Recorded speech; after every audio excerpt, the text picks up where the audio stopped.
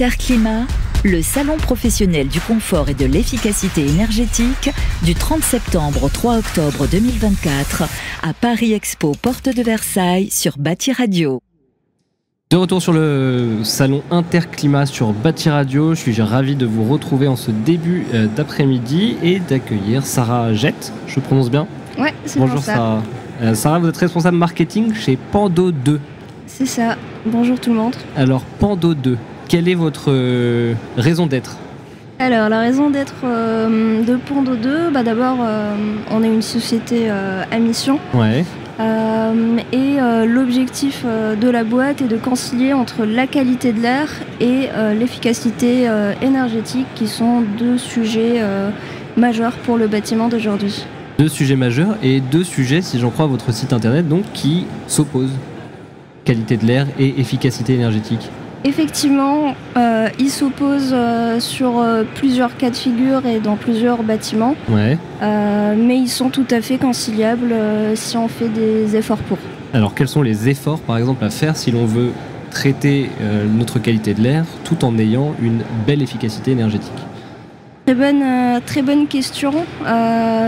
Chez Pando 2, on pense et on est convaincu que la première étape est la mesure, Ouais, parce que forcément on ne peut pas euh, contrôler ce qu'on ne mesure pas et ce qu'on ne connaît pas. donc il faut dresser un constat d'abord.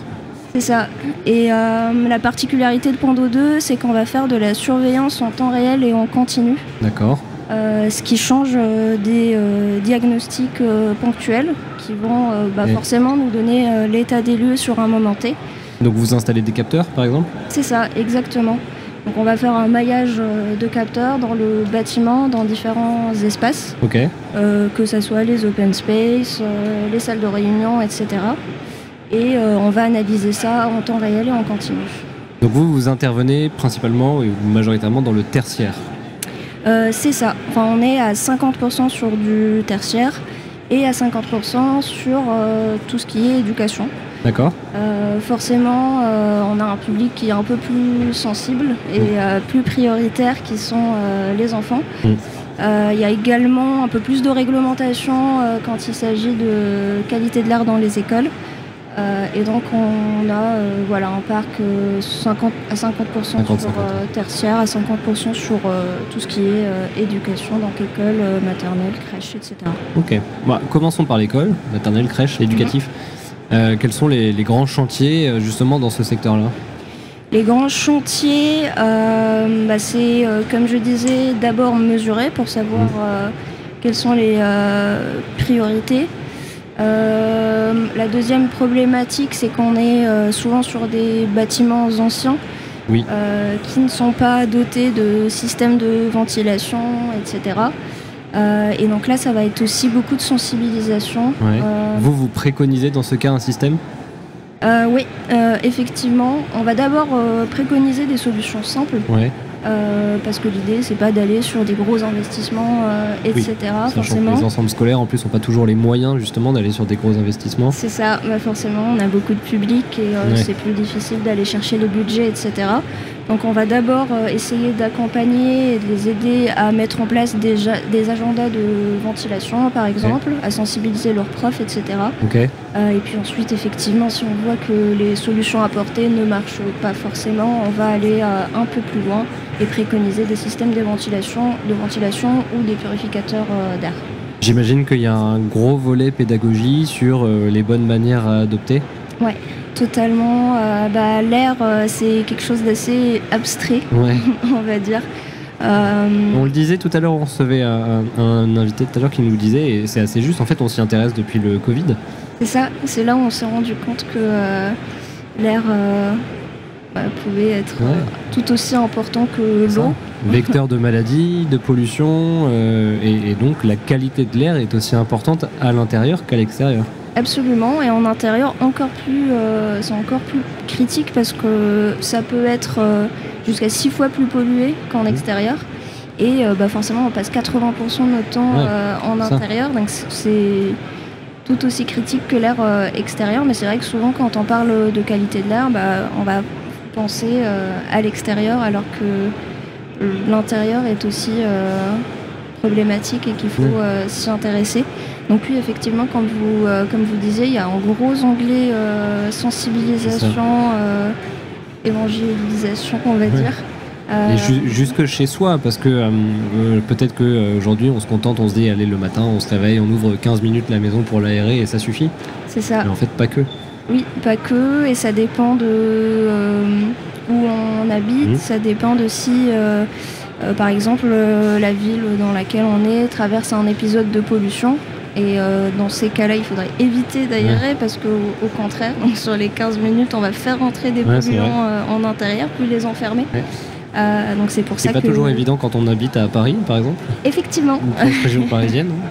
Effectivement, c'est plus compliqué euh, à Paris et c'est pour ça du coup qu'il faut avoir des petites applications pour avoir des informations par rapport à la qualité de l'air. Alors deuxième euh, cible que vous travaillez, on l'a dit, c'est le tertiaire. C'est ça. Euh, L'air dans le tertiaire, c'est un problème qui a été pris à bras le corps, euh, notamment quand euh, les entreprises ont décidé de s'intéresser à la qualité de vie au travail. On s'est rendu compte que l'air qui était présent dans les entreprises, c'était aussi un facteur très important de cette qualité de vie au travail. Vous l'avez constaté oui, totalement, sans oublier qu'en plus de ça, ça a des effets directs sur la productivité. Il y a plusieurs études, études qui ont été fait, euh, faites à ce sujet. Euh, et donc oui, il y a un intérêt euh, grandissant dans le tertiaire également. Euh, mais forcément, c'est un peu plus lent, on va dire, euh, parce qu'il n'y a pas d'obligation. Euh, et sur la qualité de l'air, on est souvent poussé par les réglementations et c'est elles qui font vraiment agir les différents acteurs. Vu que c'est un sujet qui peut être euh, très anxiogène, forcément, euh, c'est surtout les, euh, les, les nouvelles lois qui, qui poussent le sujet. Alors est-ce que euh, on est au salon Interclimat, est-ce que vous avez mesuré la qualité de l'air euh, du salon? Ouais, Et oui, oui, on a, on a des capteurs qui, euh, qui sont en train de mesurer là tout de suite. J'en ai ramené un, je sais pas quelle caméra Ouais. de film, mais il est juste là et la qualité de l'air est assez bonne D'accord. au salon. Ah bah c'est rassurant ça. Ouais, ça veut dire il qu'il y a une bonne ventilation C'est ça, bah, il y a déjà de la hauteur euh, sous plafond qui fait que les polluants montent euh, en haut. Ok. Euh, et il y a aussi de la, ouais, un bon système de ventilation, donc on est safe ici. C'est plutôt rassurant pour nous. Dernière question, donc on, on l'a dit, vous êtes présent au salon, quel est votre objectif? Euh, Il y a plusieurs startups qui sont présentes au salon. C'est quoi? C'est rencontrer de potentiels investisseurs, de potentiels clients, des prospects, etc.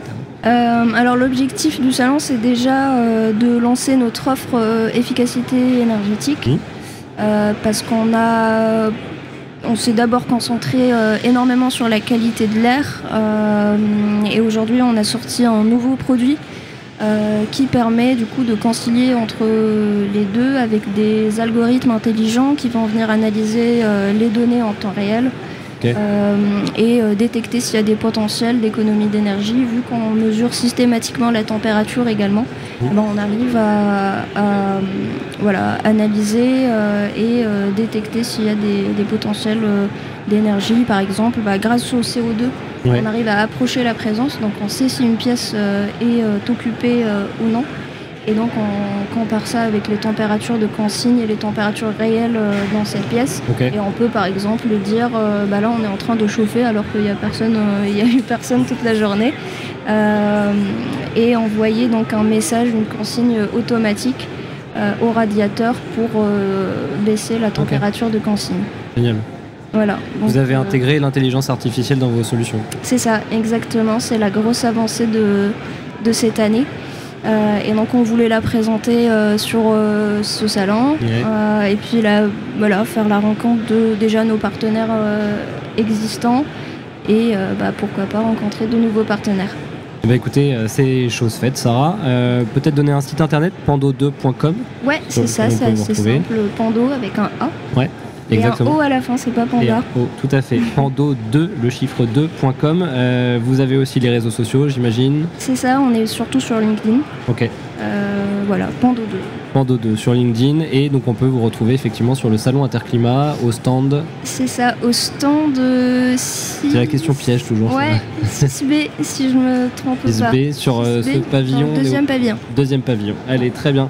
Merci beaucoup, Sarah Jette. Je rappelle que vous êtes euh, responsable marketing pour Pando 2. Merci pour cet entretien. Avec grand plaisir, merci beaucoup pour l'invitation. Interclimat, le salon professionnel du confort et de l'efficacité énergétique du 30 septembre au 3 octobre 2024 à Paris Expo, porte de Versailles sur Bâti Radio.